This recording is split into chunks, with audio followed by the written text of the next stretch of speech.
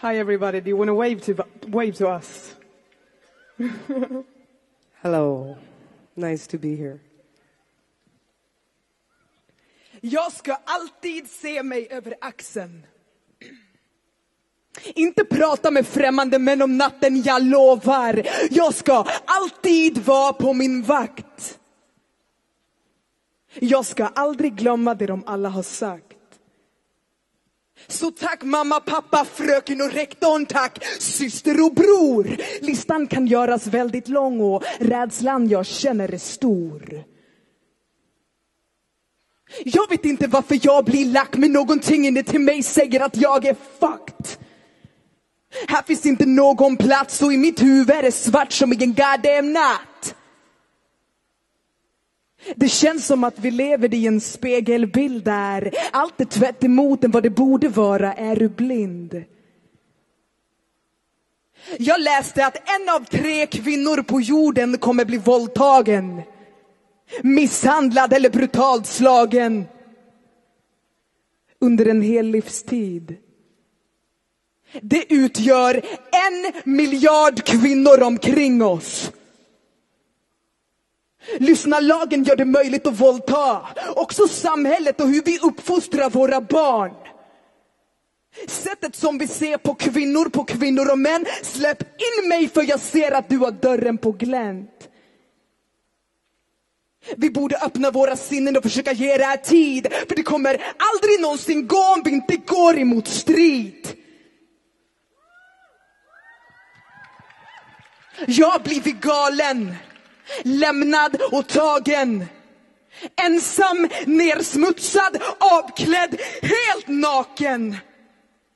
Så var ska det här ta mig fram när jag i 26 års ålder aldrig trivts i någons famn? Lyssna hårt mot hårt. Jag sätter min hand mot din hand och lovar mig själv att jag aldrig mer ska vara rädd för en man. Fatta. Hey, hey. Fantastic, yeah. Oh, Broken Tipsy. oh, oh. Så. Ingenting är som det ska. De måste Fatta, fatta. det är lite mer jag kan ta. Fatta. Ingenting är som det ska vara. Ah, ah, ah. Låt mig bara Så, vara. lyssna. För resten av livet straffad Jag förbannad på att han aldrig kommer fatta Hur jag än försöker är minnet för djupt att se dig Jag kommer aldrig vara den där tjejen som du älskade Försök stå på dig, var modig och stark Hur jävla lätt är det när man ändå får sota för allt Vart tar jag vägen? Vad tycker du jag ska gå när mina djupa sår är värda fängelse för i ett halvår? Är du säker på att det faktiskt har hänt? Hur kan man ställa den frågan till någon som just har fucking kränkts? Vaken om natten och hatar min kropp. För flera tusen gånger valde jag att inte säga stopp. Vem ska jag annars lägga skulden på? Jag var ung ändå, så jävla dum och på. Mitt hat äter upp med lust och gå av. Fan min kropp är ett skal som jag inte klarar av. Så lämna mig ensam. jag dör hellre själv än att dela den här känslan Försök till tröstande ordet det jag får. Men tiden läker inte såna här. Så Ingenting är som det ska. de måste fatta Det är lite mer än jag kan ta. Vad vill jag klappa händerna på den här? Ingenting är som det ska vara. Ah. Låt mig bara Okej, vara. lyssna, lyssna. Din hand i mig, jag sa aldrig nej så jag är din och du kan göra vad du vill. Du kan. Ta mig där jag aldrig blivit tagen. Supa ner mig, knulla mig fast jag är avslagen. Du kan. Kör upp en flaska i min fitta tills jag blöder. Skryt om det framför dina boys och dina bröder. Är det sånt som du vill lära dina söner så systrar och mödrar hör mina böner. Ingenting är som det ska. de måste fatta. Det är lite mer jag kan Kom igen och klappa händerna, fortsätt! Låt dem höra oss! Ingenting som det ska vara. Ah. Låt mig bara vara. Eh. Thank you, tack så Thank you so much. So, this is a Jag snackar skit på salongen, gör mig fin på salongen. Baxar ben på salongen, men aldrig mer på salongen. Jag blir en ny på salongen, det är ganska dyrt på salongen Men jag får extra pris på salongen så du kan få rabattkupongen Jag vill hänga där gussarna hänger, det är bara det. Och på salongen har en kvinna alltid varit i fred. Inte han, jag gör mig fin för var du fuck ifrån. Hänger på salongen bara för att det är med vår Alltid varit så med tusen miljoner råttor Vill våra planer som är för oss av Det bara var det där får vi lov Inte dig jag gör mig fin för det själsligt Tycks som mina naglar bara för att det är ärligt Gå på sa, gå på sa, gå på, gå på sa, gå på sa, gå på, gå på sa, gå på sa, gå på, gå på sa, gå på salong Gå på sa, gå på sa, gå på, gå på sa, gå på sa, gå på, gå på sa, gå på sa, gå på, gå på sa, gå på salong Kom igen och stötta lite! Tja, tja, hoppa!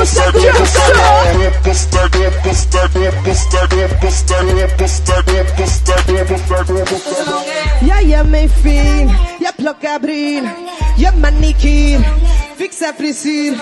Det är så skönt att kliva in och bara slappna av. I alla världens snödare salonger vår oas.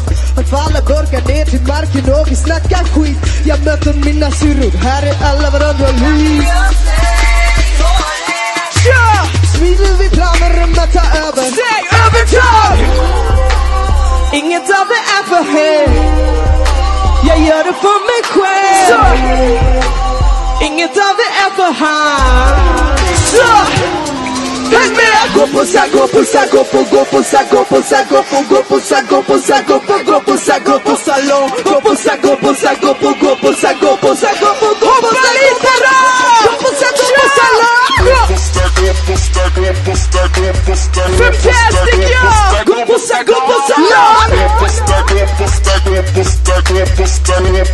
compo, stack, compo, stack, compo, stack, compo, compo, compo, stack, compo, compo, stack, stack, compo, stack, compo, compo, compo, stack, compo, compo, stack, stack,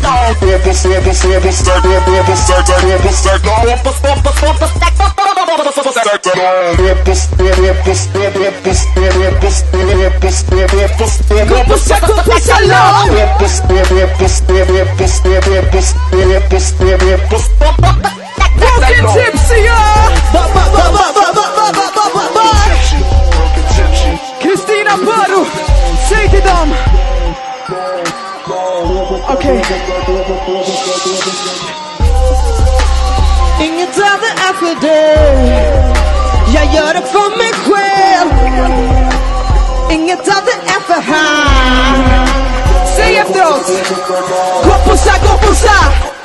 due pulsar Go pulsar, go pulsar Skrik. Go pulsar, go pulsar Go pulsar, go pulsar Go pulsar, go pulsar This is yeah, go pulsar, go pulsar long Go pulsar, go pulsar long Go pulsar, go pulsar long Go pulsar, go pulsar long This is yeah, go pulsar, go pulsar, go pulsar, pulsar, go pulsar long Sure Tack så mycket!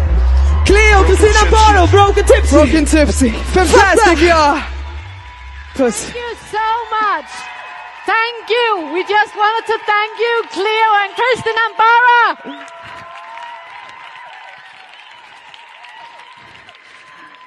I just want to say a couple of words about this great act we just saw. They were just going to open our next workshop on violence. And um, Cleo and Kristin Amparo, they are a soul and hip hop duo and also a part of the collective Femtastic.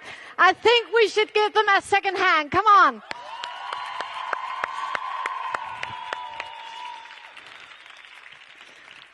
And for now, I'm going to introduce the next, next workshop. First of all, I want to welcome you all here. It is so great to stand here and see all your participants here. And it's a great honor for me to be moderating this next workshop. This Nordic Forum gives us a unique chance to discuss and exchange experience and especially to come up with new actions regarding gender equality. This, this workshop, we're going to focus especially on violence. My name is Henrietta Holberg, and I work in an NGO called DANA, where we work on equality and gender-based violence. Today, we're going to listen to six different speakers on this issue. And the first speaker I want to introduce to you is Gudrun Jonsdottir.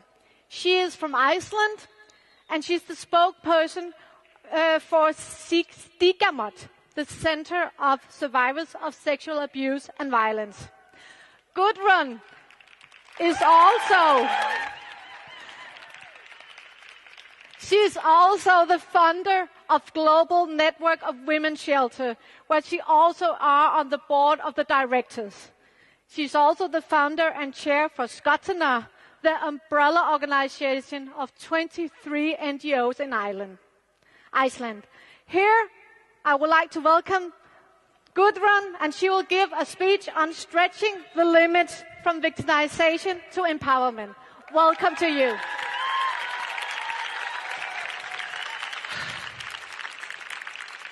What a moment at last to stand here with you.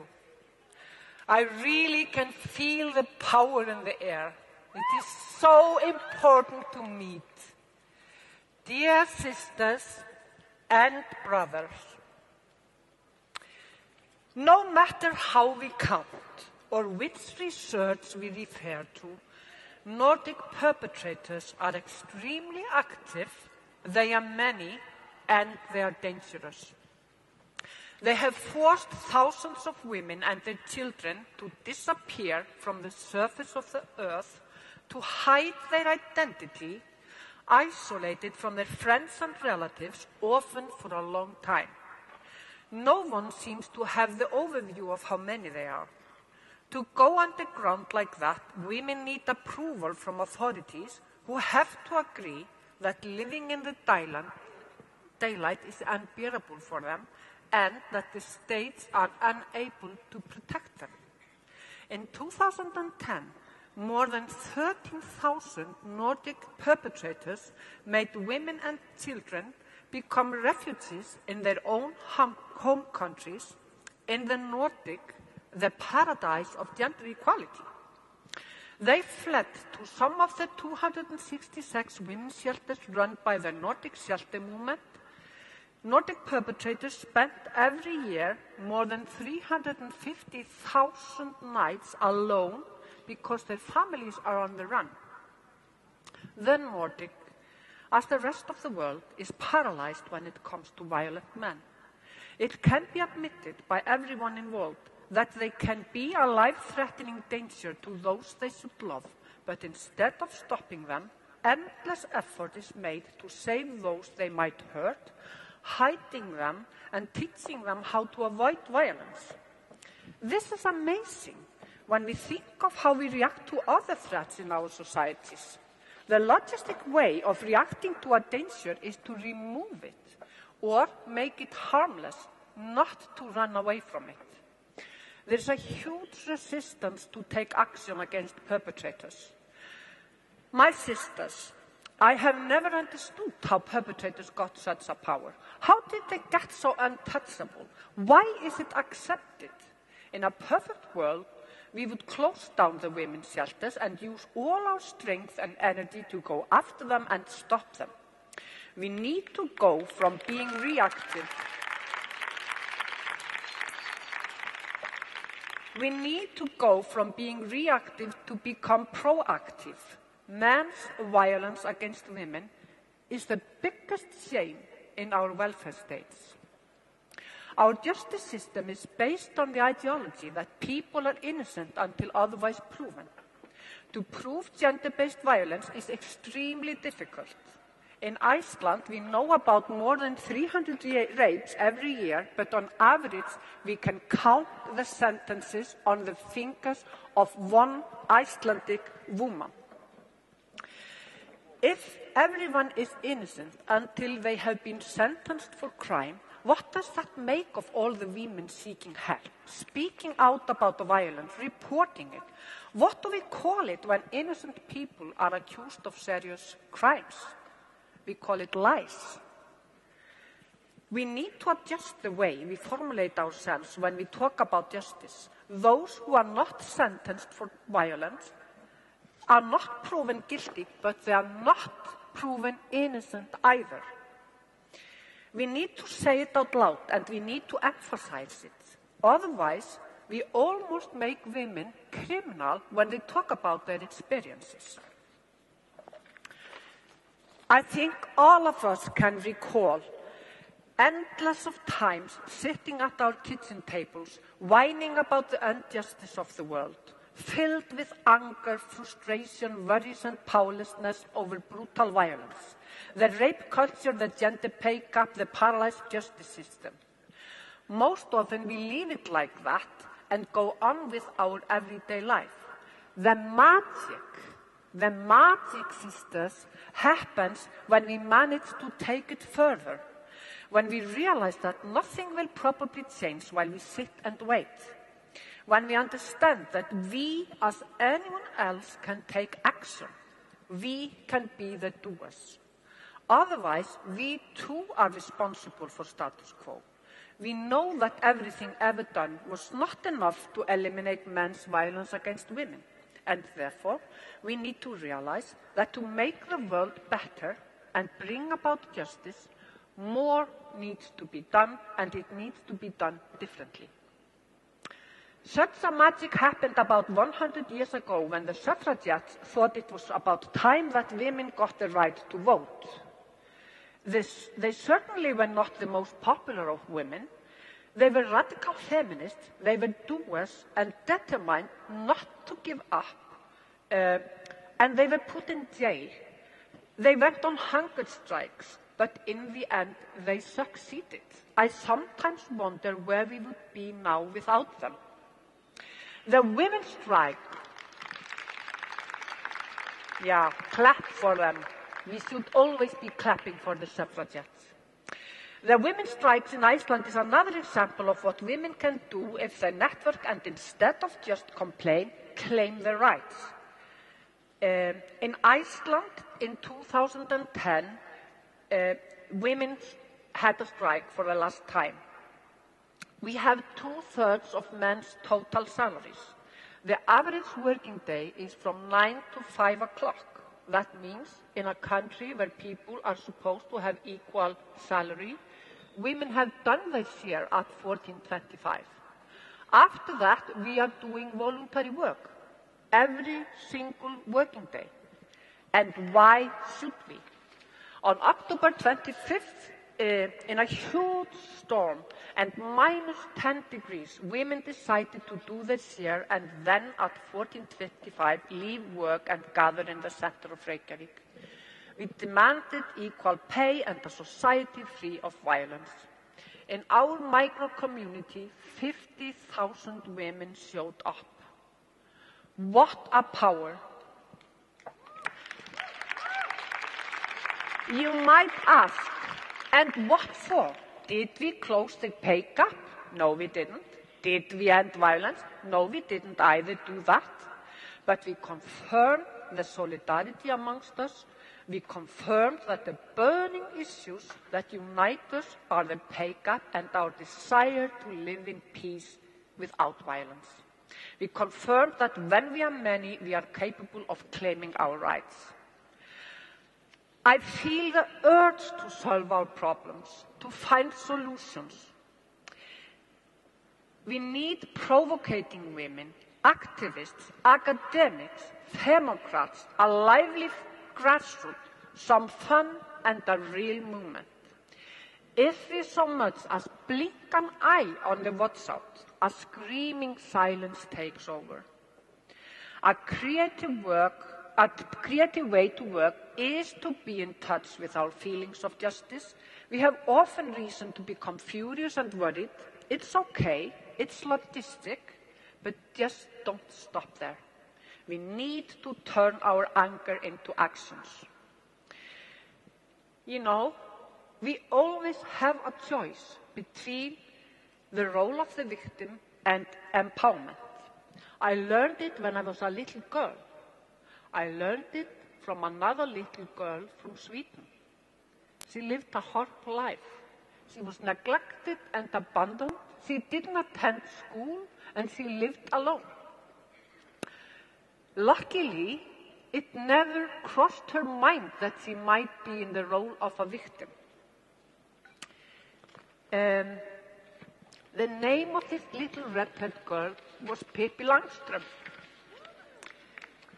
See, Pippi Långstrump was not bothered by traditions or the strict rules that we too often thoughtlessly follow. She invented her own rules, her own style, her own ways of living. What a role model for us. Dear sisters, I felt I should tell you how to end violence, but I can't. I don't know how. Anything ever done was not enough. More needs to be done, and it has to be done differently. I know that men's violence against us women is a burning issue for the thousands of us that found the way to Malmö. A wild, strong women's movement is the sharpest and best tool I know to promote change. Let's strengthen our networks. Let's join forces. Let's learn from each other. Let's empower each other. Let's have some fun. That's the best we can do. Thank you. Thank you so much, Gudrun. Thank you.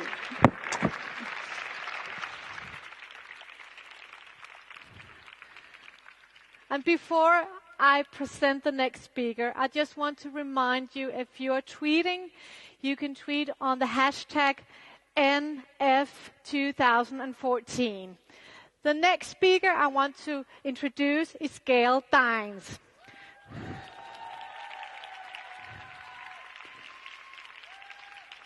Gail Dine is the professor uh, of uh, Dr. Gail Dine is a professor of sociology and women's studies at Wheelock College at, in Boston.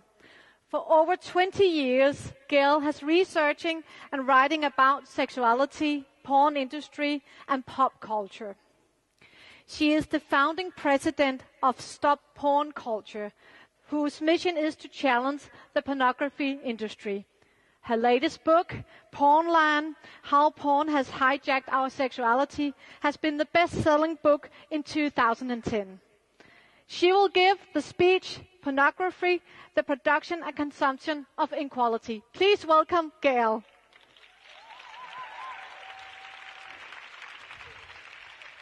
Thank you very much. It's a pleasure to be here, and thank you everyone for organising this. And my talk comes with a trigger warning for people because it's got pornographic um, images in it and discussion. So, I have been a radical feminist for as long as I can remember.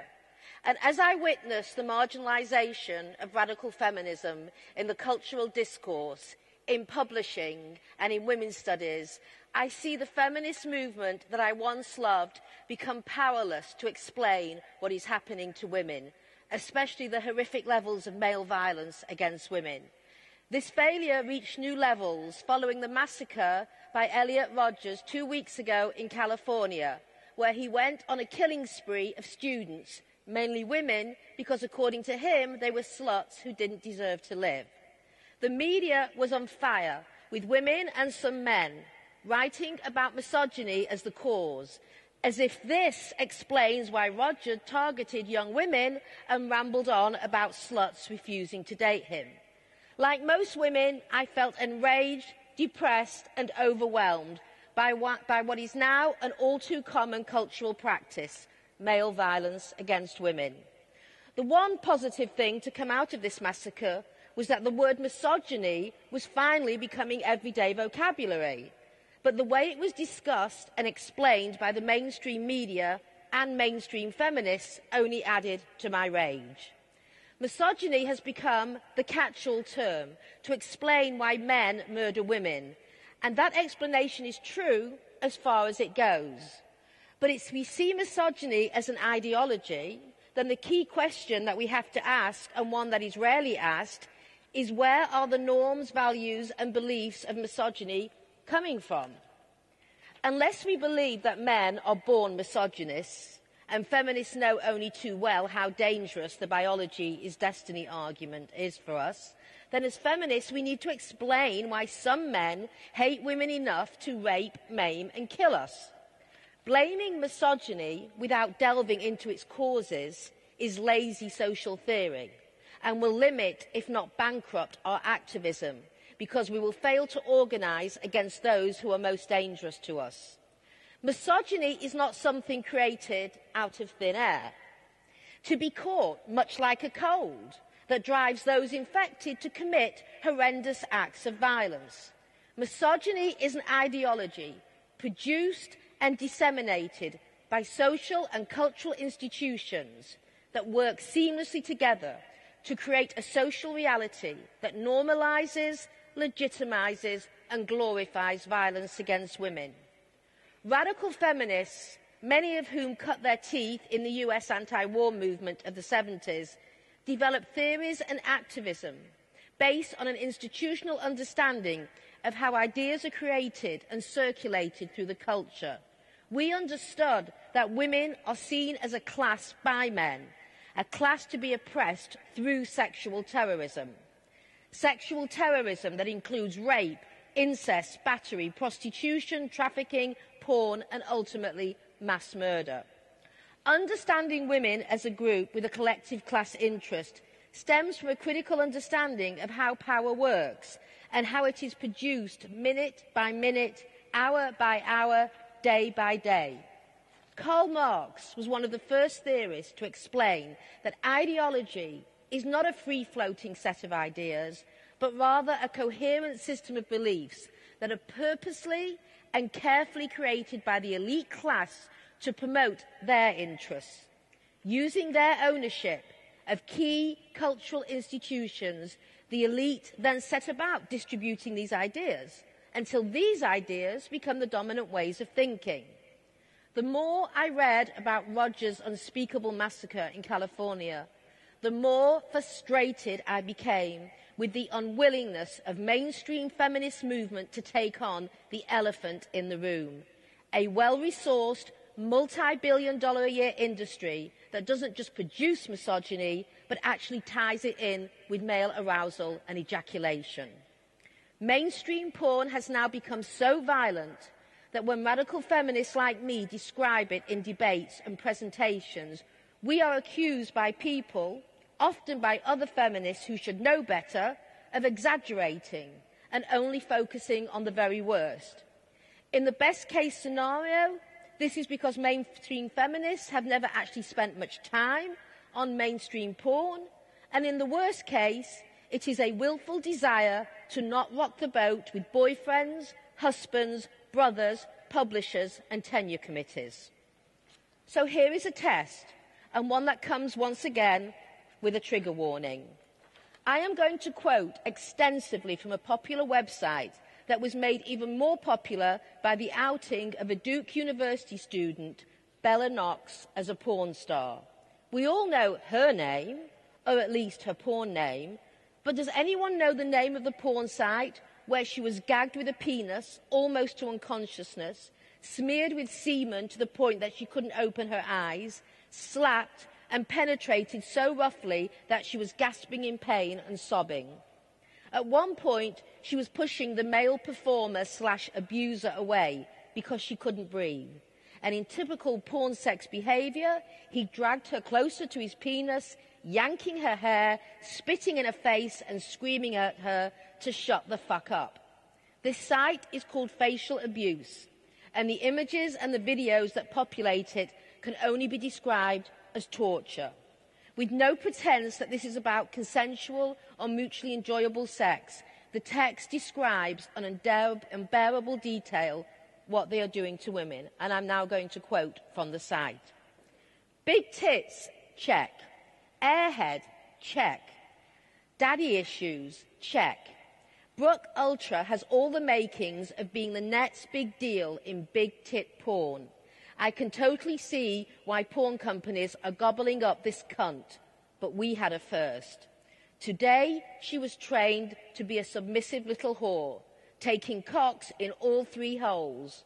Paulie Harker blew her asshole out with his giant knob. We shot some great fucking anal gapes with this pig. So much that you could see what she had for dinner last night. Enjoy this. And when you see her all over the place, Remember who taught this cunt the ropes.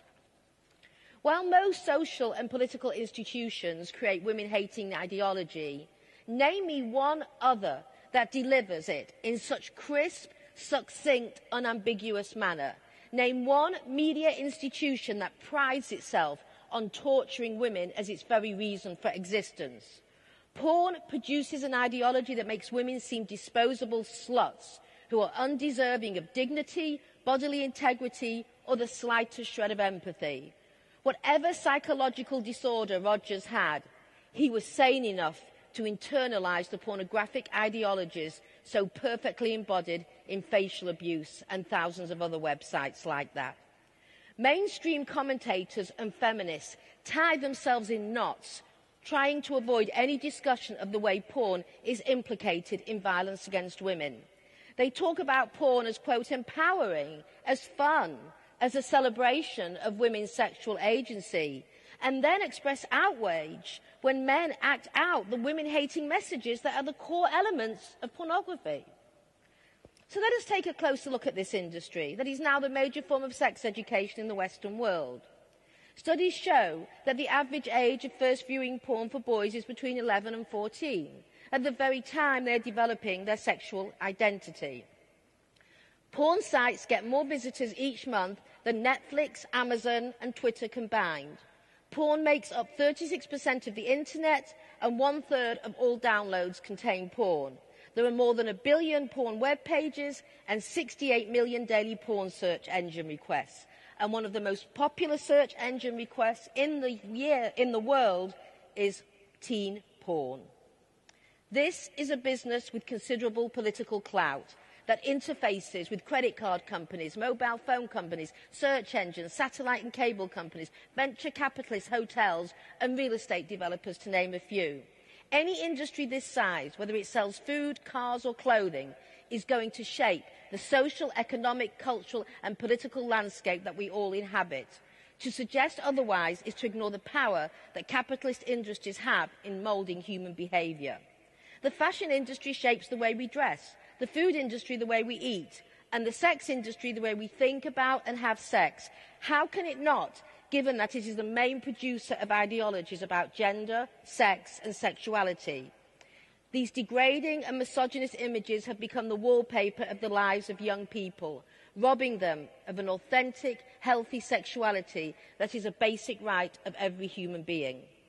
Websites with names like on my, Gag on My Cock, Suck Me Bitch, Ghetto Gaggers, and Human Toilet Bowls make clear that today's porn is about making hate to women's bodies, with sex acts designed to deliver the maximum amount of brutality, humiliation and degradation.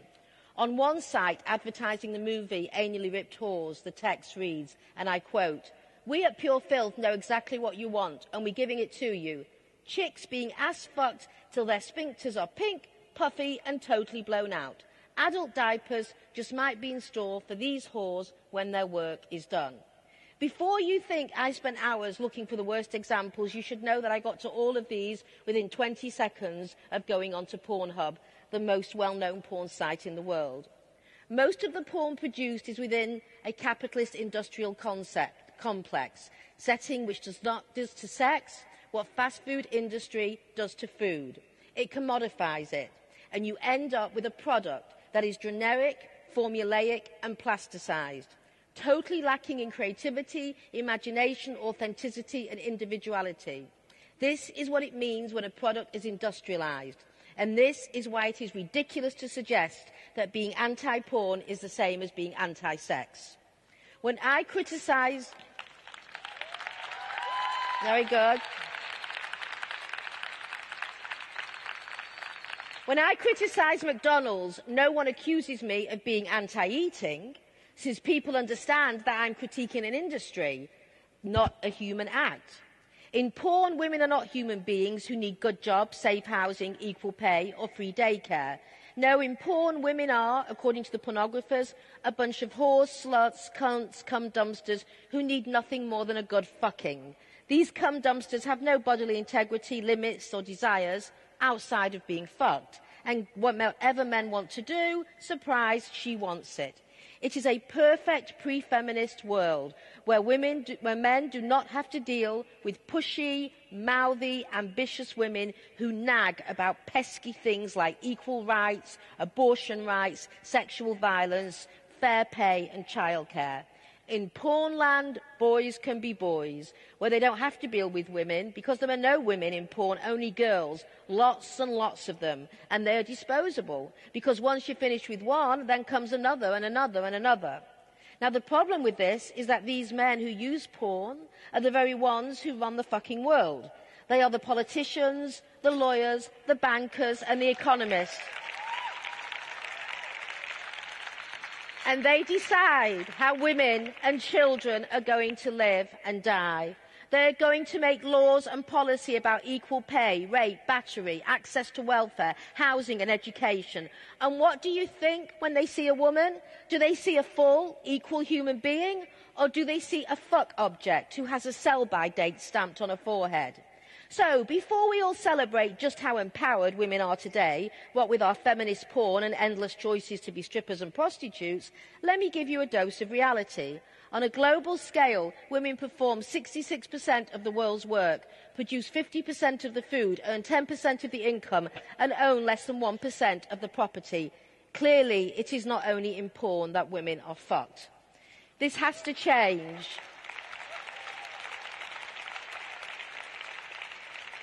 This has to change, and the only way it is going to change is if we wrestle power away from the men. We have to stop giving them total and complete power over women's bodies and lives.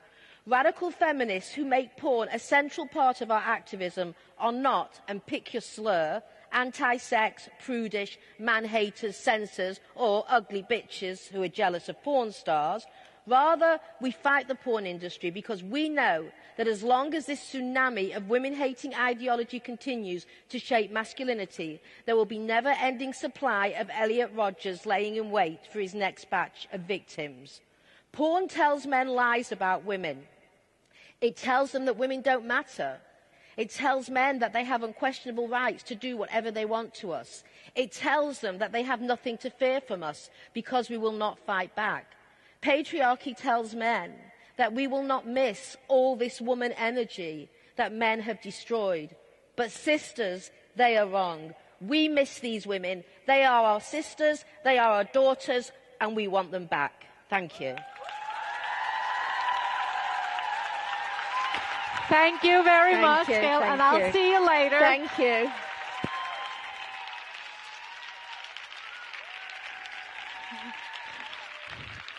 Thank you. We will uh, have the pleasure to discuss uh, in the panel discussion with Gail later. So let me move on. The next I would like to present is Ida Östensson. She is the founder and chairperson of the organization Crossing Borders. Crossing Border works for equality and creates new possibilities for an equal and inclusive society. They are doers instead of talkers and they are creating change with inspiration and methods. Ida is also the co-founder of Fatta in collaboration with Femtastic, who fights against sexual violence and for consent. She's going to give us a speech on the subject how a campaign with music as a tool can put consent at the top of the political agenda. Please welcome Ida.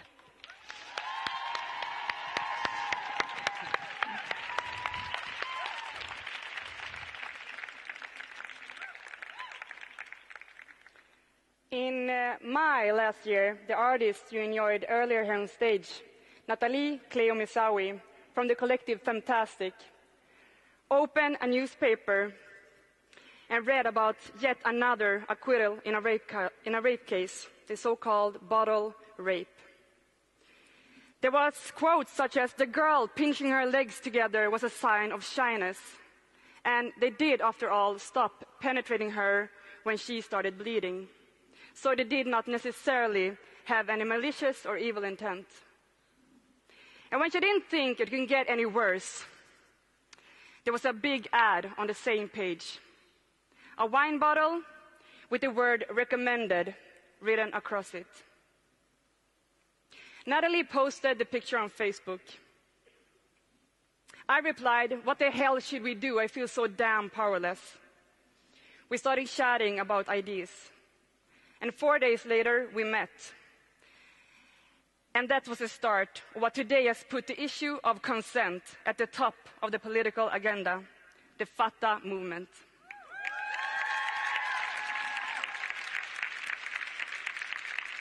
Fatta, which means get it, started with collecting stories about sex that happened without consent. The stories were interpreted into a song to which we released with a music video in September last year, in combination with a newspaper article. This was the start of a grassroots movement. Within one year, Fatta has managed to make an issue no party prioritized into one of the most important issues in Swedish politics.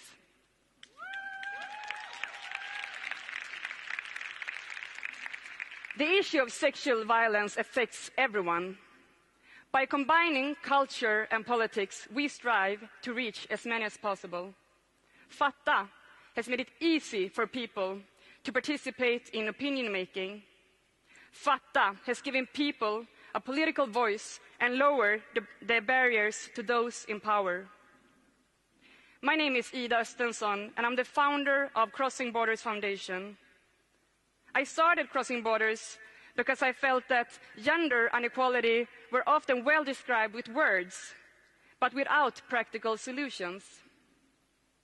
Crossing Borders works only with solutions, and that's why I'm so pleased that this session focuses on strategies, demands, and solutions for an equal society. In my vision, I will use one simple rule. To do everything we do today but the opposite, we need to flip the current order. I hope you're ready to challenge your thoughts and your action, because here comes number one out of seven. Number one, today we have a society that from birth gives our children one alternative the pink or the blue one. I dream of a society that gives all children the entire rainbow. We have to have a norm critical pedagogy within every education. Number two, today we read about absurd acquittals that shows what extreme specifics our justice system has regarding sexually related crimes. Representatives from the judiciary says that education in norm criticism and men's violence would remove their objectivity. I dream of a society where everyone understands that knowledge would, of course, increase the possibility, possibility of unbiased and fair trials. For conception about sex, gender, and sexuality not to hamper correct and objective assessments, there must be a mandatory education within the judiciary and law enforcement. From individual police officers all the way to the judges in Högsta domstolen, the Swedish Supreme Court. Number three, Today, non-profit organizations are being forced to pull resources, resources, out of thin air to be able to work with preventative and supportive uh, care against sexual violence. That is a sad testimonial that so many girls and women's lives fall outside of our collective welfare system. I dream of a society where our social welfare is also based on girl, girls and women's needs. Number four, today we talk about girls' vulnerability and teach girls to set boundaries, to say no, not to walk outside late at night, to be careful. I dream of a society where we instead teach boys to draw those boundaries, to say no when their friends crosses those boundaries, to learn how to act in public spaces late at night and to be more careful. It is boys and men who need to learn that anything else than a yes is a no. For this, we need to make space and allocate resources for meeting young boys and men. Let the girls in middle school go out and play soccer, while the boys talk about feelings, relationships, and to learn to draw those boundaries. Let the responsibility lie where it belongs with the boys and men. Number five. Today, teenagers learn about sex through porn.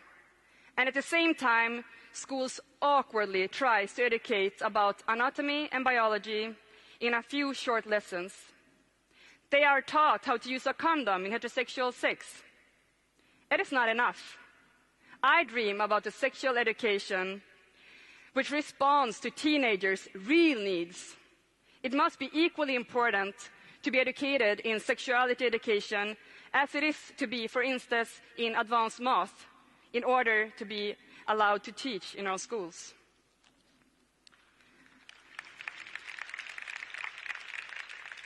Number six, today we have a society where it's taboo to talk about sexual violence, where she, who has been subjected to sexual violence, becomes a liar or a whore, where the time after the rape is called the second rape. We have a society where our ideas about masculinity can make it even harder for young guys who are victims to tell someone and ask for help. We have a society where adults are afraid to see what is happening and therefore deny the fact that their own child could be a part of the statistics. I dream of a society where everyone dares to see the signs, dare to ask, and take the time to listen. Number seven, every year around 6,000 rape charges are filed in Sweden. And at the same time, Brottsförebyggande rådet, the Swedish uh, National Council for uh, Crime Prevention, estimates around 36,000 rapes every year. That comes down to 100 rapes a day. This is a clear sign that people have lost their faith in judiciary and choose not to file charges in order to avoid humiliation. I dream that legislation, instead of always being one step behind the rest of the society, could in the future be ahead of it. Fatta demands a sexual crime legislation based on consent. Sex without consent is not sex. A sexual crime legislation built upon consent has a normative effect on society's views on sex. We do not live in an equal society today, but I dream about an equal society but to get there, we must all understand that we have a collective and individual responsibility to act and to dare to challenge ourselves and just think the opposite and flip the current order. And we have to do that now. Thank you.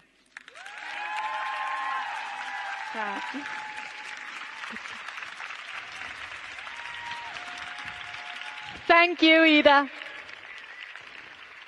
The next speaker on this stage is Dorit Otzen, who is a project manager for the Swan Groups at the shelter and organization The Nest International in Denmark.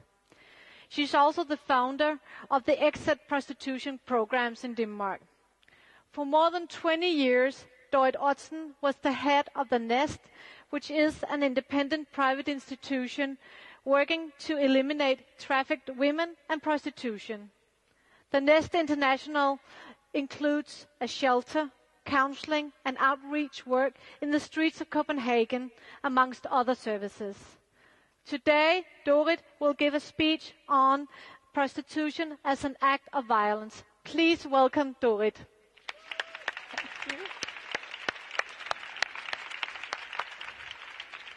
Hello, everyone. In the Nordic countries, there are laws which protect women in their homes, in the workplace, in public areas. You are not allowed to expose us to violence. You are not allowed to expose us to sexual harassment. You are not allowed to expose us to racism. And you are not allowed to rape us. These laws can lose their power for a very small amount when it comes to buying a woman in prostitution. Then violence is no longer violence, sexual harassment is no longer sexual harassment, and racism is no longer racism. And rape is no longer rape, but only a part of the business of prostitution to maintain that particular view that a group of society's women should be at service to fulfill men's sexual needs, it keeps a group of women in a situation where they are no longer protected by national or international laws on, regarding basic human rights. The Icelandic anthropologist Gisli Atlason, who conducted a study why Danish men buy prostitution, believes that the way men and women's sexuality is defined depend on the amount of prostitution that takes place in each country, and that gender equality depends on this. I have for more than 40 years worked as a social worker among women in all forms of prostitution that exist, and I have to agree with him. Men can, for a small amount of money, buy the right to use a woman to live out every sexual fantasy. He knows what he can get women to do for a small amount of money. And he is not at work or back at home working for equality between men and women. In autumn 2012, the Danish government decided, despite of earlier promises, not to follow the Nordic countries and introduce a law criminalizing the purchase of sexual service. The Danish government has hereby accepted that men should have the continuous right to sexual access to other people's bodies against payment. Why do we accept it happens? To legitimize and create distance, we call them by names. The woman is no longer a woman, but becomes horse, slut, the sexual immoral. We call her the prostitute as if it was genetic and not an act committed by women that for many reasons could not see other options. Sweden, Norway and Iceland had no doubt about the unequal power relations and look at prostitution as violence against women. All three countries have long criminalized the right to bisexual access to other people's bodies. Finland has taken the first step and banned the purchase of victims of trafficking, while, as in Denmark, with a clear conscience and legal legality, making it possible to continue to buy national women for prostitution. A Danish writer, O. Poulsen, who had experience from prostitution from brothels, escort, defined prostitution as follows. Being a prostitution is being a body that can be bent in joints, legs spread out, open your mouth and receive the customer's imagination. You have to smile and create the illusion the man expects the illusion that you love sex. You love having sex with many men every single day, just the macho porno-like way that many men want after seeing how women in porn movies will take it all. Out of a population of about 5.5 million in Denmark, 1.5% of the Danish men are buying prostitution.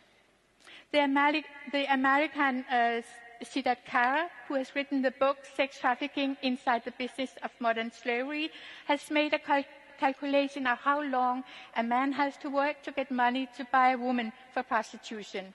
An Indian has to work two and a half hours. An Italian must work 2.2 hours. An American must work 1.4 hours. It means 75 minutes. A Danish man had to work even less. The many foreign women, which represent more than 50% of all prostitution in Denmark, keeps prices for prostitution at such a low level. Then on the street you can buy a blowjob for 10 euro and a sexual intercourse for 13 to 25 euros, which even a schoolboy can afford. There are people who have, only have their body left to sell. So we buy the corners, kidneys of the poor, make them surrogates for the kids we cannot give birth to, and we buy the women and children for our own sexual gratification. We buy access to the genital openings, to the anuses, the vaginas, and the mouth. Why? Because it's possible, because it's legal, answered 60% of more than 6,000 of the men in a large Danish study of Danish men's prostitution habits because it's causal, casual sex under 36% of the men. But none of the Danish men in the study mentioned violence, which is surprising when we know that the risk of violence is omnipresent in prostitution. If the reason why it's not mentioned is because none of the more than 6,000 are perpetrators, or if it is because it's even more taboo to be perpetrators of violence than it is to be prostitution buyers is a question. We know that violence is a term in prostitution. In a Swedish study, 50%, more than 50% of women have experienced violence such as rape, sadistic treatment and abuse.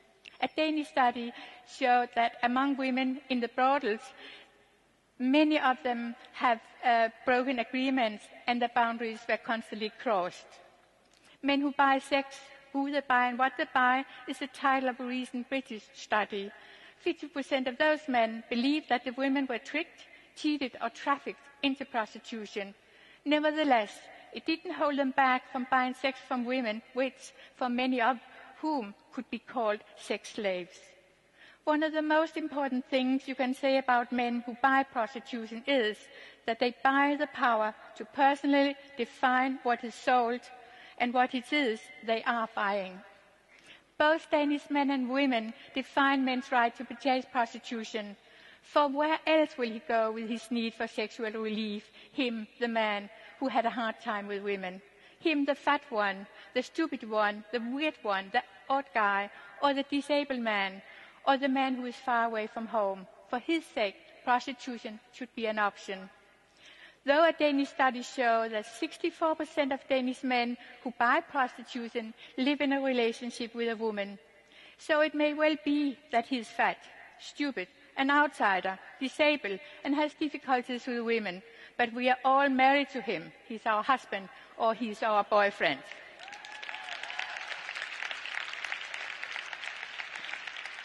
What does it do to the relationship between men and women when the website like Hedomax exists?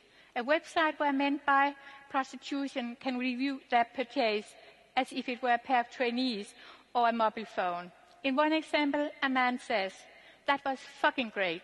Her, the Thai hooker, had such a tight hole that I could not get my cock in without hurting her. It was fucking great. It can be recommended. Another man says, bad, bad, bad, I thought as Annette opened the door. I could not get it up running in her company. She was too old. The her time in the industry was out. And the third adds, just visited Maya, and can I importantly not recommend that slot? She is not nearly as hot as in the pictures, does not smell good, and her morning was too fake to make the product a cool experience. Bad experience and a waste of money. Equality between women and men suffers as we accept prostitution as a normal behavior. It is unacceptable for all countries who call themselves the democracies of, of, of, equality to accept men's sexual exploitation of women by accepting brothels, street prostitution, escort prostitution, and all other forms of prostitution. Unfortunately, Denmark is one of those countries where women are put for sale and purchased equally with other trade objects. For me, prostitution is mainly a cultural phenomenon, albeit rooted in social, economic, and structural problems. Though with a positive aspect, the cultural phenomenon may change over time. And here I lies my hope for the future. With my many years of experience in social work, I do not see prostitution as a benefit for anyone or anything, but rather a disaster to the whole community. As long as mankind can be reduced to a commodity to be bought and sold, and as long as a country can accept that their women are a commodity, just as long will equal equality between women and men be a distant dream for the future. Thank you. Thank you so much.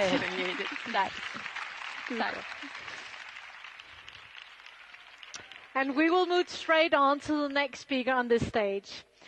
Our next speaker is Kajsa Ekis Ekman. She's a cultural journalist, commentator, and an author.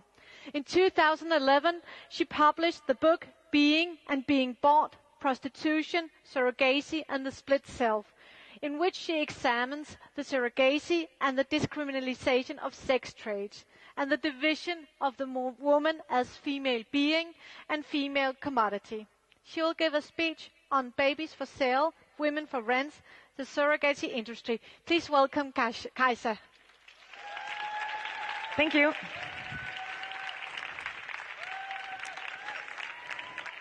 Hello, how are you? I don't hear anything. You're not dead, I hope. You still have some time to listen. Um, we just heard about prostitution, and I'm going to be speaking about another type of prostitution, namely surrogacy or contract pregnancy. Um, this is a growing industry globally that could be described as prostitution's little sister. Um, it has all the similarities with prostitution, but it's not as big yet. But it's growing globally, especially in places like the U.S., Ukraine, and India.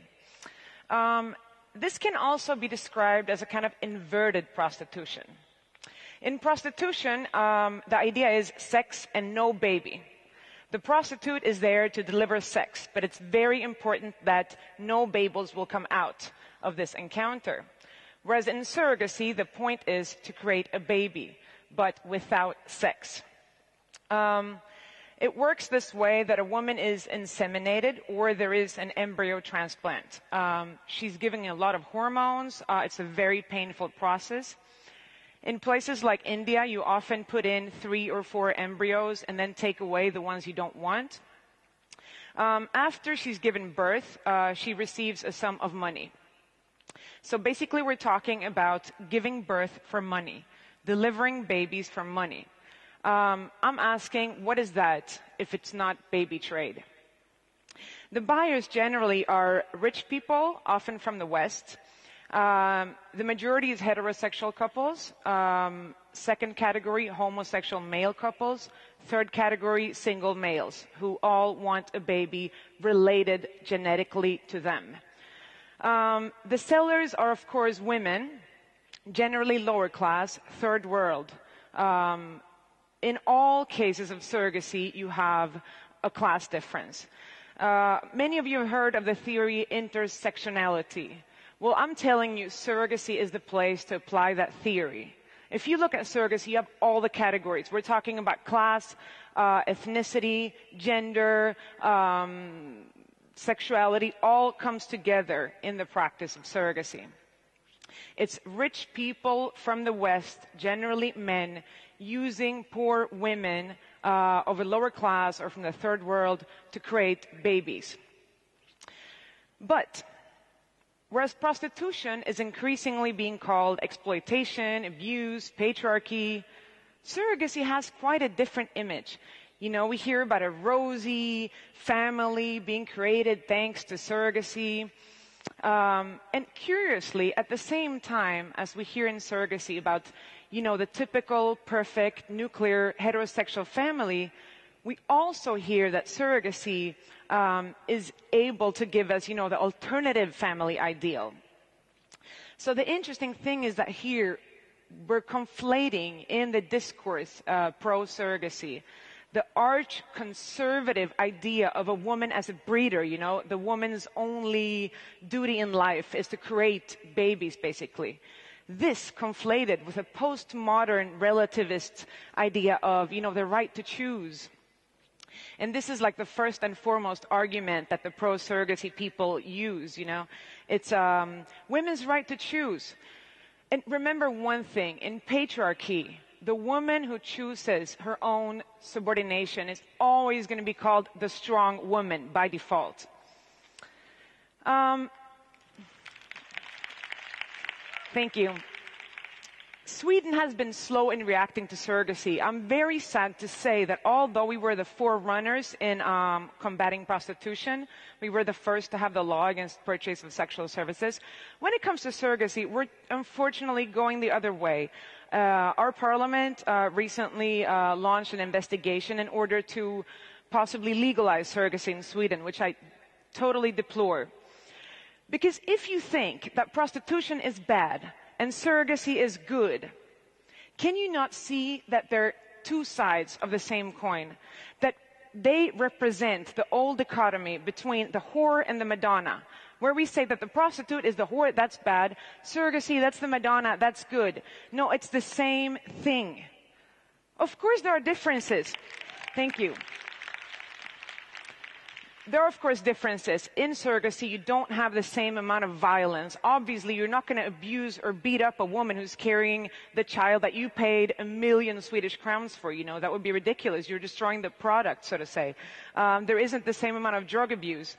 But the reification, the commodification, the turning of women into products is the same. And the turning of babies into products is another thing that surrogacy has that prostitution doesn't have. Another thing that um, combines these two industries is the fact that the woman's body is used for someone else. It's not for her own sake. Um, when uh, in prostitution you have sex with a person that you don't like and that you're not excited about, you know, you have to turn off your own body not to feel. In surrogacy, when you for nine months carry a baby that you will never see again after giving birth, you also have the technique, uh, which uh, testimonies from surrogate mothers, you know, have shown that you have to turn off the feelings you have for the child in order not to suffer when you uh, give it away after giving birth. So the same thing applies for these two industries. We're talking about reducing women to whores or madonnas, reducing women to sex or reproduction, reducing women to their bodily functions, not caring about how we feel up here, how we feel in our hearts. That's not important. The point in prostitution is you're there for sex. The point in surrogacy is you're there to deliver a baby. What you feel for the baby doesn't matter. You know, women are turned into products. And I'm saying, you know, that's why surrogacy is absolutely incompatible with equality, with women's autonomy. Um, I want to tell you guys something. You know, what are women for? That's a rhetorical question, obviously. Women are for ourselves. When we have sex, it's supposed to be for us because we want it, right? If we have babies, it shouldn't be for any other reason than the fact that we want it. Not for money, not for force, or not for the typical thing that you're feeling so sorry for a man that you will do anything for him just to make him happy. Um, I will call on all of you to act against surrogacy. I'm begging you, please raise your voice against surrogacy. The people who are acting internationally against surrogacy are very few. We're like this many. We're like 10 people talking out against surrogacy. This cannot go on. If all of you who are sitting right here did something against surrogacy, we can raise an international movement and actually start combating this industry. If we don't do that now, we're going to have a monster at our hands, you know, comparable with the trafficking industry. And by then, it's going to be very difficult to stop because we're also talking about the money that's going to be in it. So please act. Thank you.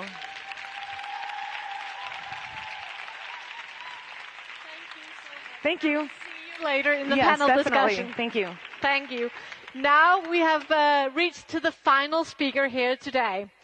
And I would like to present Jackson Katz. He's a PhD, an American author, educator, filmmaker, and cultural theorist who is internationally recognized as a pioneer in gender, gender violence prevention education.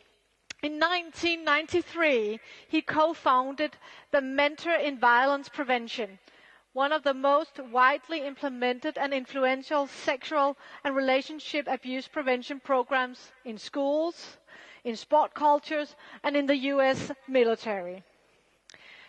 The MVP introduced the bystander approach to gender violence prevention field and Katz is one of the key architects of this now broadly popular approach. He's also the author of The Macho Paradox, Why Some Men Hurt Women, and How All Men Can Help, and also the author of the book Leading Men, Presidential Campaigns, and the Politics of Manhood. He lectures extensively in the US and around the world. He's going to speak on men's violence is also a men's issue. Please welcome Jackson Katz. Thank you very much. Good job.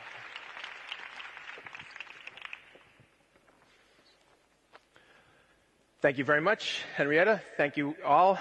Um, before I begin my prepared comments, I want to say this is a honestly, it's a great honor for me to be here and to be part of this conference. I want to really thank the organizers of the conference for inviting me to be part of this. Um, it's inspiring to say the least, and I really, as a as a sort of a life moment, this is this is great stuff. So thank you. I've worked a lot in Scandinavia over the past five years or so with Men for Gender Equality and other women and men in Sweden and elsewhere who have uh, brought me over, and I wouldn't probably be here were it not for their advocacy and leadership, so I thank them as well.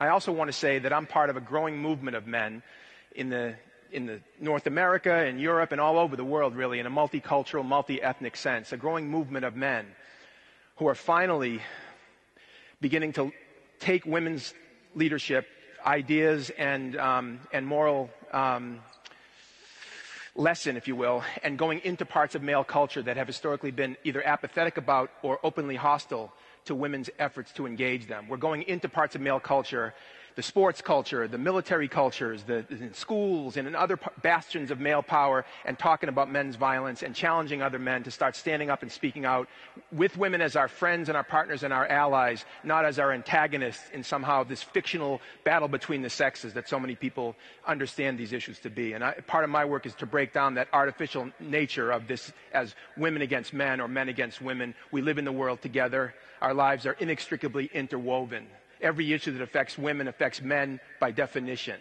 as does every issue that affects men affects women by definition. And by the way, I just used the gender binary. I understand there's more people in the world than men and women. It's a more expansive gender binary than the gender binary. But I'm going to say, to begin my prepared remarks, that we need a paradigm shift in our thinking and our understanding about the issues of gender violence. When I say gender violence, I'm talking about sexual assault, domestic violence, sexual harassment, the sexual abuse of children, that whole range of issues that I'll refer to in shorthand as gender violence issues. They've been seen as women's issues that some good men help out with. But I'm here to say that I don't accept that frame. I don't see these issues in that way. I, I don't see these as women's issues that some good men help out with. In fact, I'm going to argue that these are men's issues, first and foremost. And if we have any hope of dramatically reducing the levels of violence perpetrated by men against women and children and other men in the world, if we have any hope of doing that, we have to have this paradigm shift and see it centrally as about men and men's engagement and men's leadership, which I'll get to in a few moments. Now, let me, having said that, let me say, men's leadership is building on women's leadership. I'm not saying that men need to take over from women no one that I know and the people that, with whom I work thinks that or believes that or acts on that. It's not about taking over from women. It's about shifting the, the, the burden of responsibility onto the shoulders where it should be, which is on the men who are in power and the men who are committing the acts of violence, calling domestic and sexual violence a women's issue is another form of victim blaming. It's putting it on the shoulders of the victims to, to respond. It's putting on the shoulders of the victims to organize, to, to, to, to agitate, to politic, politicize. And that's not fair, to say the least, is it? So this paradigm shift is fundamental to what we need to do um, going forward. By the way, the term gender, people hear the word gender, right? They think so they, a lot of people think that the word gender means women. So anytime you have a conversation where gender is in the title, and it's not a mandatory event, in other words, you hope people will show up. If the word gender is in the title, who shows up? It's overwhelmingly women. Most people see gender issues as synonymous with women's issues. There's some confusion about the term gender, and, and, and, and let me illustrate that confusion by way of analogy. Okay, so let's talk for a moment about uh, race. And I'm going to use the United States, my home as the uh, reference point, but you can plug in Scandinavian analogs, right? So let's talk about race for a moment. In the U.S., when people hear the word race, they tend to think it means African American, uh, Latino, Asian American, Native American, South Asian, Pacific Islander. Or when people hear the word sexual orientation, they tend to think it means gay, lesbian, bisexual. And when people hear the word gender, they tend to think it means women. In each case, the dominant group doesn't get paid attention to. As if white people don't have some sort of racial identity or belong to some racial category or construct. As if heterosexual people don't have a sexual orientation. As if men don't have a gender. This is one of the ways that dominant systems maintain and reproduce themselves, which is to say the dominant group is rarely challenged to even think about its dominance because that's one of the key characteristics of power and privilege. The ability to go unexamined, lacking introspection. Or self awareness. In fact, being rendered invisible in parts of the discourse about issues that are often centrally about us. And it's amazing how this works in domestic and sexual violence, how men have been so often erased from the very conversation. I'll give you a handful of examples of what I'm talking about. You'll hear people ask questions like, how many women in Sweden were raped last year? Not how many men raped women. Or you'll hear people say, how many girls in the Malmö school district were harassed or abused last year, not how many boys harassed or abused girls, or how many girls harassed or abused girls. You'll hear people say things like in Denmark, how many teenage girls got pregnant last year, not how many men and boys impregnated teenage girls in each case, the use of the passive voice has a very powerful political effect. The political effect is the shift in focus off of the dominant group and onto the subordinated group. And that's not a coincidence or an accident. It's not sloppy use of language. It's how power functions. In this case, through invisibility and stealth. And so part of our challenge those of us who are trying to shift the paradigm is to make visible what has been rendered invisible. And that's uphill. It's an uphill challenge. Even the term violence against women is problematic. You never hear me say the term violence against women. What's missing? The active agent is missing. It's just a bad thing that happens to women, violence against them. But if you insert the active agent, men, you have a new phrase, men's violence against women. It doesn't roll off the tongue as easily, but it's more accurate and it's more honest, isn't it? Now, by the way, the old paradigm, the old paradigm plays out all the time in the mainstream media conversation about these issues. So, for example, at the Video Music Awards last year when Miley Cyrus and Robin Thicke were performing, so much of the conversation after that performance was about Miley Cyrus and how she might be a bad role model for girls or something. Very little discussion about Robin Thicke, who produced and wrote and, and starred in Blurred Lines. the, right? Very little discussion about Robin Thicke. What is, what is, is he a good role model for boys or girls? But the discussion was focused on Miley Cyrus. That's the old paradigm, right? The old paradigm is to talk about trafficked women and children rather than the men who buy sex. You turn it around. Instead of focusing on the victims all the time, focusing on the perpetrators. If we have, again, if we have any hope of transforming the culture that produces victimization, this is what we need to do. I mean, we need to take care of victims and survivors. We need resources and we need, you know, support. But that's not the same as the cultural transformation that will prevent the victimization in the first place. And for that, we need the paradigm shift. Now, some of you might have paid attention, might be paying attention to the news that comes out of the United States on a regular basis of school shootings and rampage killings, which happen all the time in my country right? Well, you know what the mainstream conversation about school shootings and rampage killings is in the United States? It's about kids killing kids. It's about what's going on with our young people, what's going on with youth. It's very rare that you see a gender specific conversation about school shootings, which are overwhelmingly perpetrated by young men and boys, right? Can you imagine if girls committed 99% of school shootings? Anybody talking about kids killing kids? The first thing they would be talking about would be What's going on with girls? And, and what is it about cultural ideologies of femininity that are leading some, a small percentage, a tiny percentage, but some who are giving us an indication of what's going on in a larger sense? That would be the first thing people would be talking about. But because it's boys and men, we degender it and talk about kids and young people. And we don't get anywhere in terms of coming up with um, both understanding of the causes and then what to do about it in the last couple of years, what's emerged in the conversation in the States about school shootings and rampage killings is that it's about guns and mental illness. Those are the two issues that come up over and over again. We live in a culture awash in guns, and we have a lot of mentally ill people and not, not enough good services. Well, guess what? Almost nobody thinks to ask in the mainstream conversation if it's about guns and mental illness, then why don't girls and women commit 50% of the shootings? Because it's not about guns and mental illness. It's about gender, first and foremost,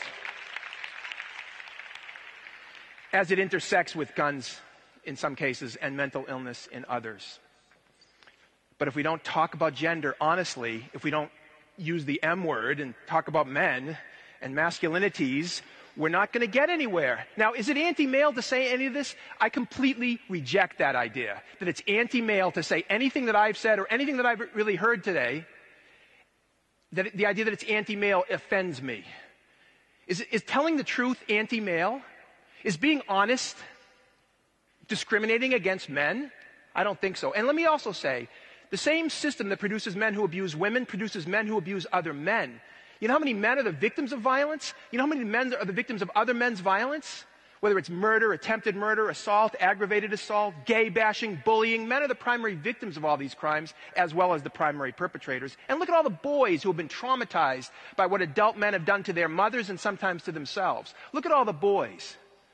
Look at all the young men and boys across class, race, ethnicity, all over the world who have been traumatized by adult men's violence. Is it anti male to call out adult men's violence and, and its contribution to these traumatic, traumatized boys? I don't think so. In fact, I think it's an act of solidarity with young men and boys. And when I hear feminists c- criticized as anti male,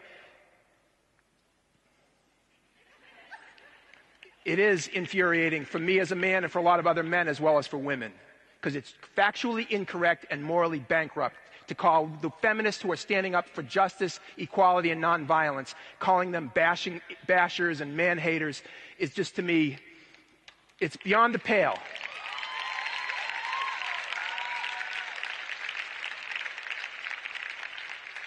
Now, let me say, I know a lot of the women in this room have been called some of these names that, that feminists get called, right? Male basher, ball buster, feminazi. You have your own cultural and linguistic variations, right? And mo- I, bet, I bet you a lot of women in this room have been called these names. You know that's called? It's called kill the messenger, right? It's a, it's a, it's a time honored tradition. When people are threatened by the message, they kill the messenger because if you write off the person presenting the ideas, then you don't have to engage with those ideas. That's one of the reasons why the term feminist has been so demonized by so many, because feminist ideas are challenging to traditional authoritarian political, economic, and social structures. And so, of course, you have to try to demonize the people who are making those arguments if you want to maintain the status quo. Now, I appreciate that women get called these names, and in spite of these names, and in spite of some of the pushback that feminists have gotten over the centuries, um, there's still all of you right here, and all of us in the greater world. And there's a lot of women who have refused to be silenced, which is a great thing. Uh, in fact, the feminist movement is one of the great movements in the history of our species, bar none. One of the great historical innovations of our species. But when men like myself speak out, we get some pushback too. I'm not going to lie to you. It's not all wine and chocolates, you know, for, for, for, for men like me. I'm not going to equate what men like me get in terms of the backlash to what women get, but I have to say there is backlash. And let me say, before I tell you what some of that backlash is towards men like myself, my experience in working with men, my colleagues' experience in working with men in multicultural, multiracial settings, including in sports arenas like we're in right now. I've been working in the heart of male culture for 25 years, in the military, in the sports culture, and other places. Most men, after they walk through, once they walk through the door, getting them through the door is the key, but once they walk through the door, and hear and engage, don't get all hostile and, and aggressive against the kind of things that I've been saying. I'm just telling you my personal experience and my colleagues. Lots of men are ready to hear what I've been saying. Lots of men. Uh, and, and, and so when, I, when I'm about to characterize a small percentage of men, please don't think that I'm implying that all men can't handle this conversation because it's not true. But there are some men who can't handle this conversation. So I'll just give you a handful of examples of the things that I've been called, because I think it makes a larger point. I'm routinely referred to as a mangina. You heard that one? Mangina. I'm, I'm routinely referred to as a beta male as opposed to an alpha male. So think about this. Some, some guy in the basement of his parents' home eating Cheetos and playing on his, typing on his computer keyboard, calling me a beta male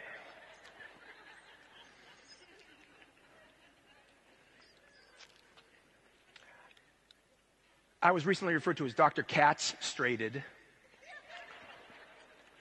And I give that person high marks for creativity, if nothing else. But you notice a theme developing here? The theme is that I'm like a woman, men like myself and other pro feminist men are like women, therefore we don't have to listen to them in the same way the traditional patriarchal mindset has marginalized women's voices and women's ideas. We don't have to listen to them because they're women. Well, these guys are like women, therefore we don't have to listen to them. And more specifically, we don't have to listen to guys like me because I'm not a real man.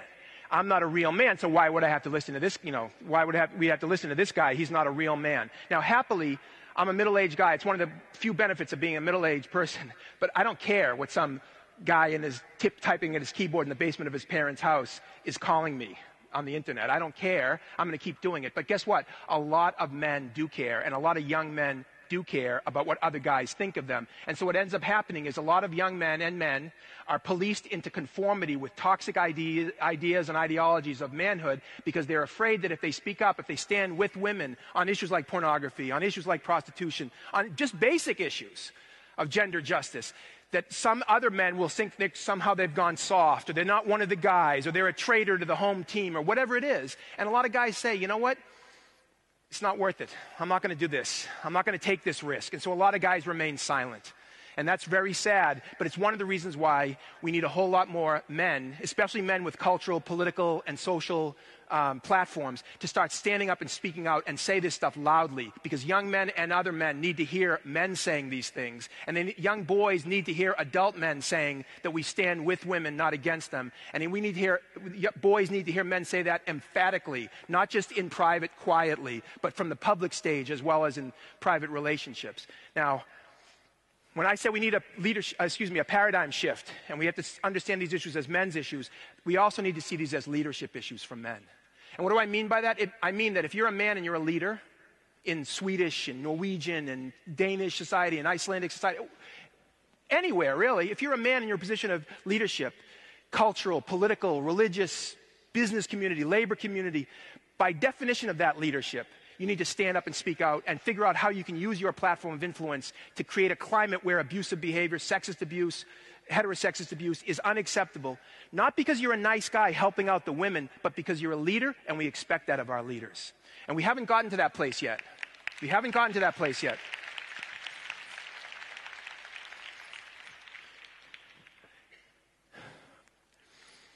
People ask me, what would I do if I had the power on a university campus or in various communities? And, and to, what would I do to change the, the cultural climate around sexism and, and, men's violence against women? And I say, you know what? One of the first things that I would do is I would gather up the most powerful and influential men in that organization, in that institution, in that community, and have a training for those men. Because a lot of men make decisions, have power and make decisions about what happens in institutions and in communities have very little training, very little insight, very little understanding about all these issues. And yet women who often have much more knowledge, but not as much institutional power or cultural authority, get frustrated because they can't make the transformations that have to happen. And so I'm not, when I'm saying that we need to, to, engage men in this, in this, it's not because men are the saviors who need to ride in. It's because men have power, and that power needs to be used in a constructive way. And if men in a democratic society have institutional leadership that we authorize them to have, and they're not addressing these issues, then they're not being good leaders, and we have to figure out how to pressure them and or replace them. Because if these are priorities, they're priorities. Um, I'm going to leave you with um, a quote from a famous uh, American, um, uh, Frederick Douglass, who was, a, was born a slave. He became an advisor to President Lincoln, and he was also a prominent 19th century uh, supporter of women's rights. Frederick Douglass said, it's much easier to build healthy children than to repair broken men. It's much easier to build healthy children than to repair broken men. Well, as an educator, as a father of a son, as an activist, we need more men in the educational space, men and women working together on this, in creating educational initiatives for kids at all levels, age appropriate, where boys and girls, men and women have an opportunity to have dialogue about all of this, have thoughtful conversations about all of it, learn from each other, and move forward. Nothing less, nothing less. This level of education should be in every school in Scandinavia and throughout the world. Every member of parliament should be trained in this. Every professional and every sports culture and every sports organization should have training in all of this. These are the beginnings of the cultural transformation that have to happen over the next number of years. And men and women have to be working together to make all that happen. Thank you very much. Thank you so much. And you just stay here. Yes, thank you so much. Now we will move to the panel discussion. And on this stage, I would like to present Kajsa. And I would like to present Gail Dines as well. Please stand here. Thank you. Nice. And you just heard the really good speech they all three of them gave, and you gave some very interesting perspectives on discussing violence against women or violence, gender-based violence. Um, and, and the first question I would like to ask to you in what way do you see that the surrogacy industry is a form of violence? Oh, I don't think it's a form of violence. I don't know why they put it in this chapter. Um, I think we have to be very careful, you know, not to co- confuse rhetoric with definition. Sometimes we tend to overuse words because it sounds more dramatic, but you have to keep in mind, you know, what are you actually talking about, you know? And I don't think surrogacy is a form of violence explicitly because it doesn't contain violence in the same way that prostitution does. What it is, it's a form of exploitation, uh, it's a form of baby trade, it's a form of prostitution but it's not necessarily a form of violence. And I think the same way also when people say, um, you know, prostitution is rape. I disagree with that, you know, because if you say that prostitution is the same thing as rape, you know, how can a prostitute say I was raped? You know, how do you make that distinction? Uh, I think prostitution is involuntary sex, but I think we have to be very careful with, you know, using words, mm-hmm. you know, not to uh, have an inflation in big words. So thank you for uh, doing this clarification. So my next question is, in what perspectives for the what what do you see uh, can be a new way or new action to uh, to work against the surrogacy industry? Well, right now the surrogacy industry is, is, starting to form, you know, globally. You have in Sweden and in a lot of other countries in the West and in other parts of the world. Um, you know, they're trying to open branches. Uh, they have seminars for everyone who, who's interested in, uh, in having a child through surrogacy. Uh, they have big conferences. They have their academics, you know, and so on. So they're forming. Unfortunately, like I said before, the people who are working against it were like 10 people. So um, really what we need is to form a, a counter movement, you know, and I think it's going to be historical in a sense when that starts happening. Uh, the people who form part of this, you know, you, you're going to become like part of something that later on you're going to look back and say, oh, you know, already then there was some resistance. Because right now, in the press, and sadly to say also in the feminist movement, um, there is a very naive idea about what surrogacy is. And I think part of the reason is because um, parts of the LGBT movement has framed surrogacy as a kind of progressive thing you know, and I think here you have to be very careful not to conflate women's oppression with the gender or the sexuality of the person committing that mm. oppression. You know, mm. we're not talking about who is buying a child through surrogacy, okay? We're not against that person. We're against the act of paying for a woman's body. Mm-hmm. Thank you. And now I would like to ask you what do you see as the link between the pornography industry and prostitution? Could you please elaborate on that? Okay, yes, certainly. And I'm going to begin by saying, actually, I, I disagree. I think prostitution is rape, and I don't think um, in any way that you can consent to being raped. And I think Rachel Moran, who's going to talk tomorrow, who is an exited woman, will talk about the fact that it doesn't matter how much they pay you, you're raped over and over again in the act of prostitution.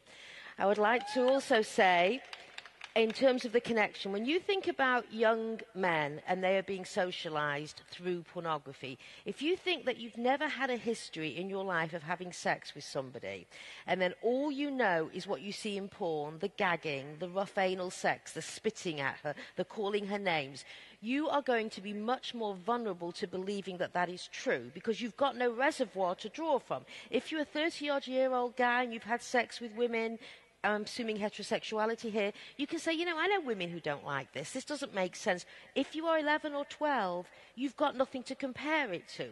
Now, mm. when you go into the real world and start having sex, let me ask you, if you have been masturbating to industrial strength sex, what kind of sex are you going to want women to perform in your life?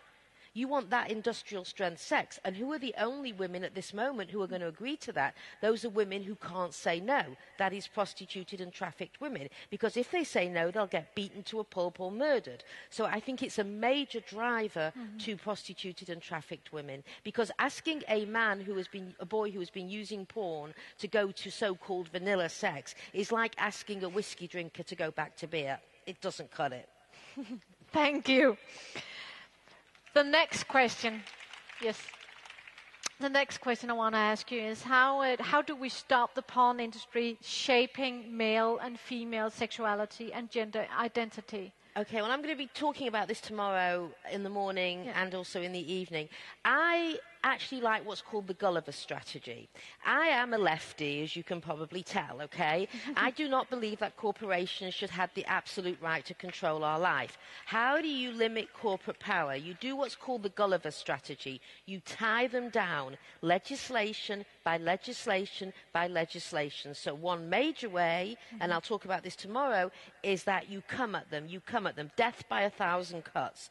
The second way is you build a mass feminist movement. And when I say feminist movement, I don't mean this empowerment, I'm all right, fuck you movement. I mean the women's liberation movement that is not built on the most privileged women, but the argument that is if she's not okay, then I am going to build a movement that is going to make sure she's okay. So the only answer to this is a radical feminist movement that absolutely replaces the word empowerment with liberation. That's the feminism that I signed on to. And this is the way to go.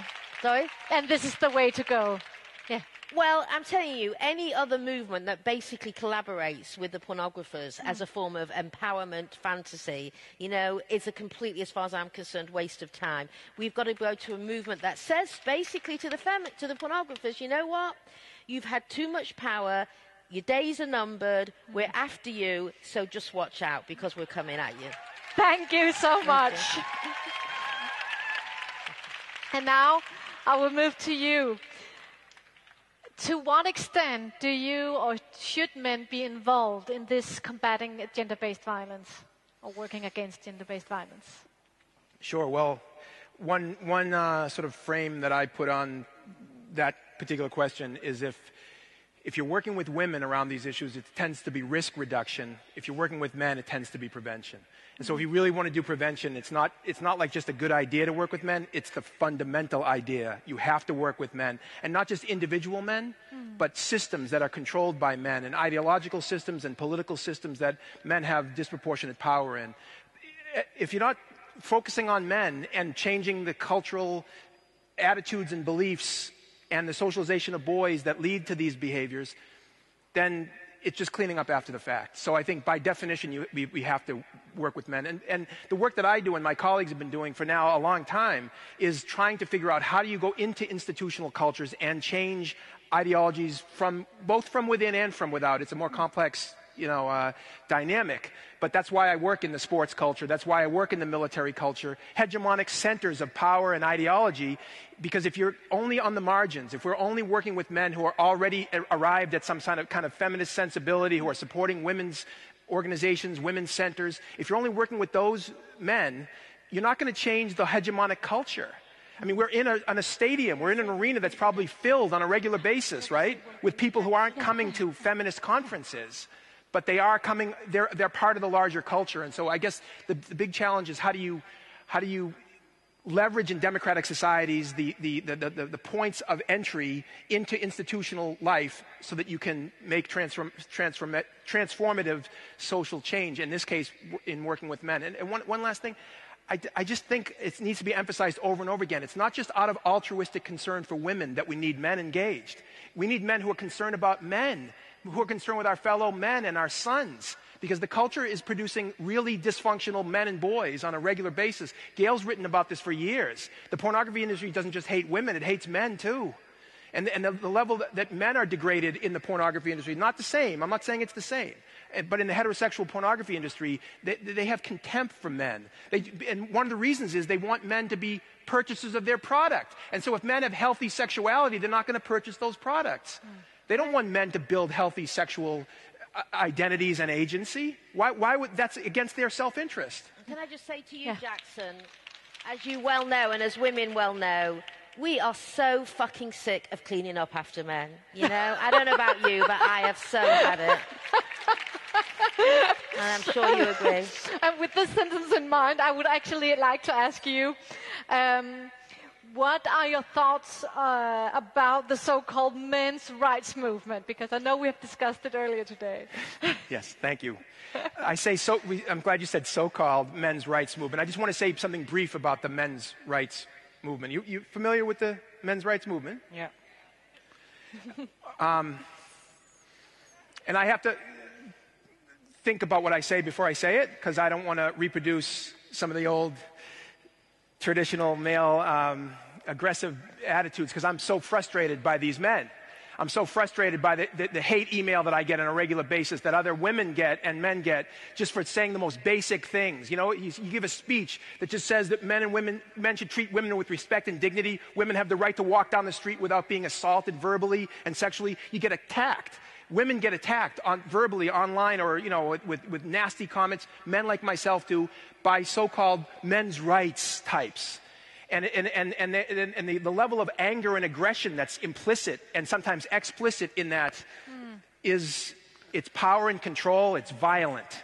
And, and I'm upset about it, and a lot of other men that I know are upset about it.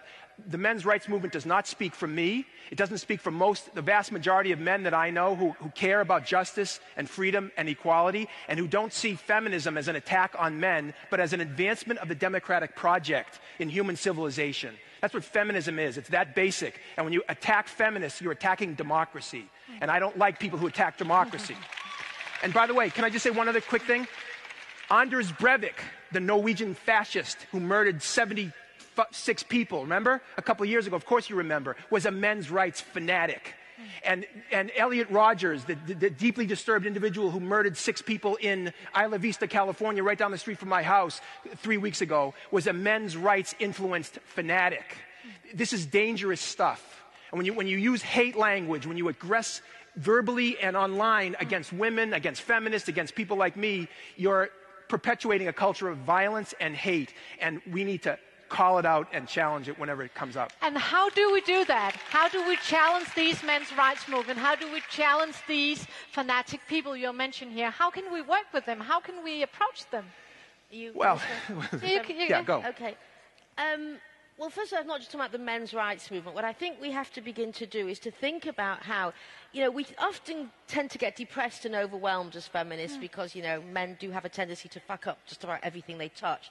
What I would argue is that I see increasingly now young women who are fed up. They really are. They're beginning mm. to speak in a different language. Now, I think it is incumbent upon us as feminists to start giving them frameworks and paradigms through which they can make sense of their lives. I can't tell you how many times I go into a college, and I'm, Jackson, I know we've spoken about this, we the same thing. You go in there and they are hungry for this. You cannot get out of the room. They are following me out of the door, begging for more, because nobody has come in, or very few, to say, to explain, this is why your life looks the way it does. This is why this creep who wants to come on your face, or he wants to do this, or wants to do that, it's giving them a framework. And I think what's secondly, what's very important, and it's a challenge that I'm going to throw out to everybody here, is that the um, blogs and the so-called feminist sites have been colonized by the mainstream third wave feminists. I think radical feminists have to start thinking about developing a website that is an answer to all this wishy-washy, mushy feminism that doesn't answer the questions. So I want people to start thinking about how we can develop a website with good articles, blog pieces, analytical pieces, intellectual pieces, um, YouTube videos. And one of the things we're going to talk about in some of the workshops is how do we get this together on an international level. Thank you. And do you have any comments? Are you? Any comments to, for, for this question? On the website? Yeah. yeah. You're welcome to join us. Thank you. Just um, no, but I agree with you. I mean, I think uh, we're at a time, I don't know, uh, especially in Sweden, where, you know, feminism has come to mean just about anything, you know, and uh, especially any woman that comes up and speaks publicly is by default labeled a feminist, yeah, you know, exactly. even though she has never said she is. Oh, feminist speakers such as this one or that one, you know, who've never fought for women's rights, mm. you know, and I think, like, nowadays when you don't really know what it means, it's important to bring it back to, you know, what are we actually fighting for? Um, because it's funny, like, especially now in Sweden, we have the Feminist Party coming up, and a lot of people are, are sensing, you know, the trend and joining the trend and feeling like, oh, I'm going to jump on this train. And not um, anyone, you know, in, like, unlike other movements, you know, I mean, I could not join, for example, a left-wing Marxist movement and say, you know, I'm a real Marxist, but I do believe in the right of capitalists to exploit labour, but I'm still a Marxist. You have certain yeah. things you have to agree on. That does mean, and I would say you can join the feminist movement and say, I'm a feminist and I'm actually pro-prostitution and pro-pornography, and that still makes me a feminist. Well, no, I'm sorry. There's yeah. certain things here. Mm. And the key thing right, is that anything that hurts women, anything that hurts women is anti-woman and anti-feminist, and not everybody should be allowed to claim this movement. We worked hard to build this movement. We shouldn't be so quick to give it away, which is what I think is happening, especially in the United States of America. You have the last Yeah. word. Thank you. Well, just just building on the, the, the- thank you, Gail. The earlier uh, discussion about men's rights. I think more men need to stand up and say these men do not speak for me. They they, they claim to speak for men. Somehow, men are being oppressed. And if men who don't agree with them don't speak up, then they come to speak for us. And one of the things that I do in my work, in, my, in the schools, in the sports culture, in the military, is I, I and my colleagues uh, pioneered this approach called the bystander approach to uh, prevention of sexual violence and domestic violence. And what that does is engages everybody in a peer culture, not just perpetrators and victims. So, it, for example, when we're talking about working with men, we're not just focusing on what men need to not do to women. We need, we're, we're, we're focusing on what guys can do to challenge and interrupt their friends and, and their peers and their, and their colleagues when they're acting out in sexist or abusive ways. Because the reason, the reason why that's so important is that a lot of men will say, well, listen, I'm not a rapist. I don't abuse women. This isn't my problem. It's not my issue. Have you heard men say this? I mean, this is what most men say. And, and uh, my response to that is the first response is, you know, they'll, they'll say, I'm a good guy. I'm a good guy. This is not my problem. We'll say, my first response is, um, we need to raise the bar a little higher for what it means to be a good guy. And just saying, I'm not a rapist is not enough, okay? just. Thank you. And, and one last thing. And we need more men who have the courage and the strength and the self confidence and sometimes the moral integrity to break our complicit silence and take some risks within male culture and say some of these uncomfortable things within male culture. just gonna say Some of your guys are going to be upset with you. But, you, but, but, if, but if, you, if you really are dedicated to justice and fairness and equality, then you're going to take some of those risks. And I think the courage is really crucial because I want to say the one thing that, well, one, many, many things Andrea Dworkin said that were brilliant. But the, she said that, you know what? The one thing that women need to build a feminist movement is the one thing that patriarchy destroys in women, and that's courage. And I think the only way that we can develop courage is collectively as a feminist movement with men who are also pro feminist who are going to help us because this is going to take an act of absolute courage to fight the misogynists and the capitalists and the racists and all of them because they're all in one big mess and we're going to have to fight the lot of them.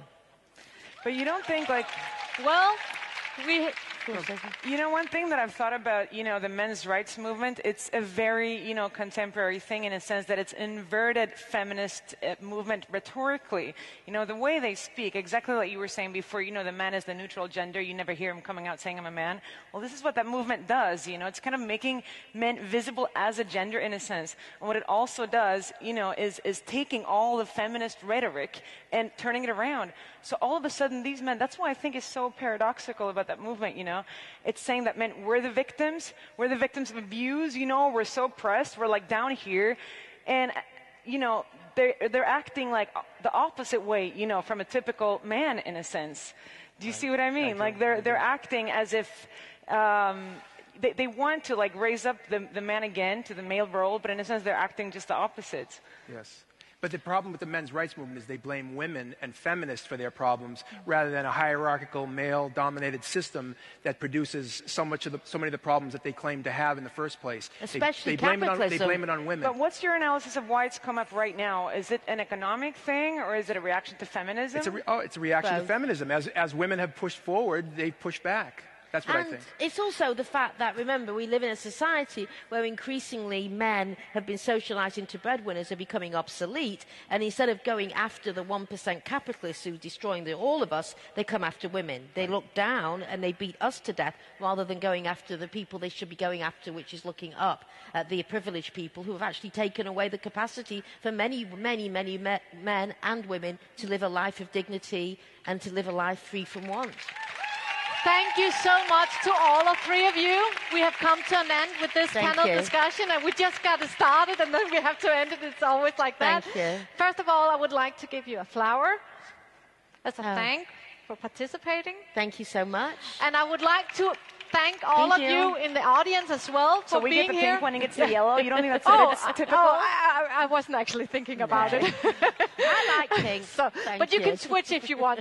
well, I would like to say thank you for participating in this workshop, both all the speakers and all of you audience. I think we had had some two very good hours exploring how we can see new action, go new path to uh, to to work against violence against women, and we have seen very uh, different perspectives on this uh, matter. So thank you very much. We'll go to a break, 10 minutes break now, and then the next session will start.